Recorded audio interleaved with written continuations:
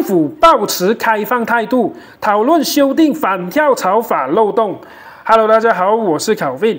老实讲，看到这个新闻，我还是蛮欣慰的，因为有追我视频的朋友都应该知道，之前我也是建议过安华还有团结政府应该要自己去修订反跳槽法的漏洞。现在生米已经煮成熟饭了，议长已经宣布了不会悬空土团党六个叛将的国会议席。议长认为土团党就是开除这六个土团叛将，并不是。因为他们自动丧失党籍，所以呢是没有违反反跳槽法的。这一个争议闹得满城风雨，有人欢喜，有人忧，有人甚至是在谩骂，讲这个团结政府真的是小人，竟然违背了团结政府的这一个初衷，就是改革。你竟然滥用反跳槽法啊！有这样子的声音，我们必须要认知到这股声音的存在。所以现在既然生米已经煮成熟饭，安华手中已经掌握了。超过一百四十八个国会议席，因为那六个土团党叛将现在已经变成了独立议员嘛，所以政府是绝对有足够的票数来修改宪法、修改法律的。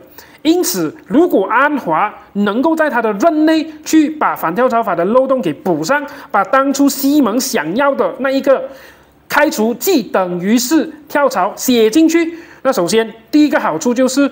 人民对于这个反跳槽法的信心瞬间就回来了，因为漏洞没有了嘛，对不对？现在大家担心，哎呀，土团党如果这样都没有中这一个反跳槽法的话，那团结政府里面的行动党还有乌统，他们的党章修改过后也是跟土团党差不多的，会不会因此团结政府内部也可以青蛙乱乱跳呢？虽然在我的认知跟理解里面，我认为是不可以的，因为哪怕乌统跟这一个。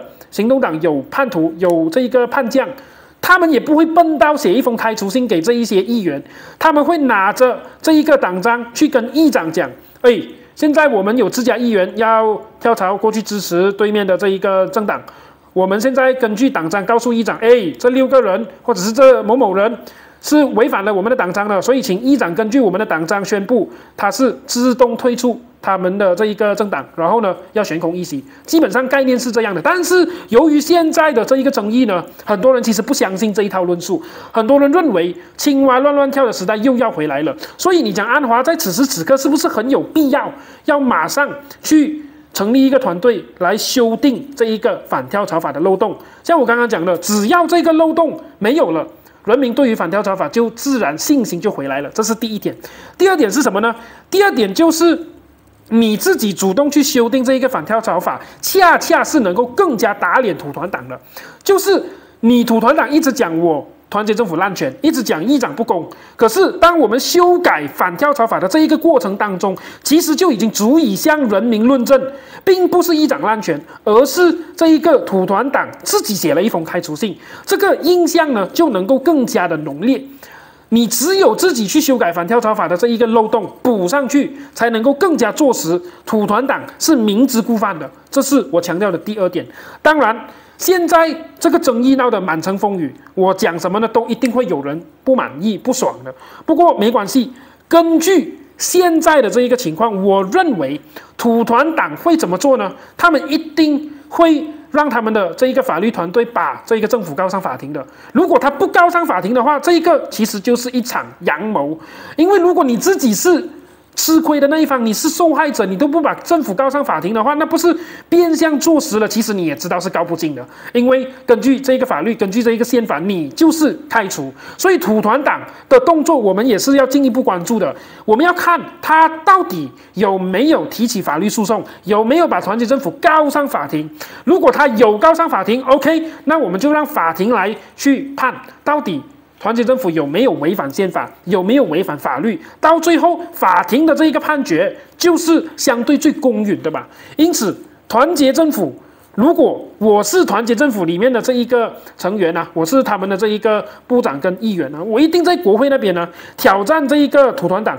你们赶紧请律师把政府告上法庭，我们在法庭见，来看一看到底是团结政府违宪，还是你们自己出了一封开除信，把那一些议员给开除掉了。